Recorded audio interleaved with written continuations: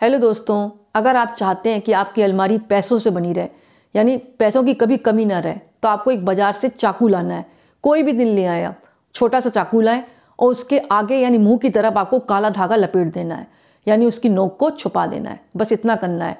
और इसके बाद आपको थोड़ा सा धूप दीप देने के बाद आपको अपनी अलमारी में जहाँ पर आप पैसे रखते हैं, वहाँ पर रख दें। आप देखेंगे आपके घर में धन का आगमन चालू हो जाएगा।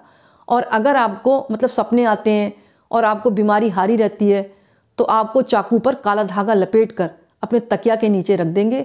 तो इससे आपके सपने जो आते थे वो भी बुरे बंद हो जाएँगे और आपको किसी भी तरह की नेगेटिव एनर्जी परेशान नहीं करेगी।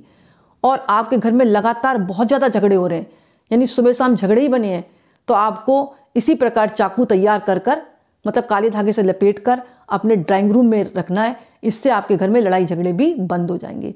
और अगर आपको लगता है आपका व्यापार नहीं चल रहा है, दुकान बिल्कुल पहले चलती थी और बंद हो गई तो अपने मुख्य द्वार पर इस तरह का आप चाकू बनाकर टांग दें। और इसके साथ साथ आपको क्या करना है, जहाँ पर आप काम कर रहे हैं और मेहनत बहुत ज़्यादा करते हैं, दिन और रात कर रहे हैं और आपकी मान प्रतिष्ठा और मान सम्मान नहीं मिल रहा है तो जहाँ पर आप बैठते हैं, उसकी ड्रॉ में रख दें। तो आपको धीमे धीमे मान सम्मान में वृद्धि होगी और आपका बॉस आपको सारी जिम्मेदारियाँ देगा और आपसे प्रसन्न भी रहेगा। ये उपाय छोटे हैं, लेकिन बहुत ही कारगर हैं, लेकिन आपको श्रद्धा, भक्ति, विश्वास के साथ करना पड़ेगा। बस छोटे सा तो है, एक चाकू और काला धागा करके देखें।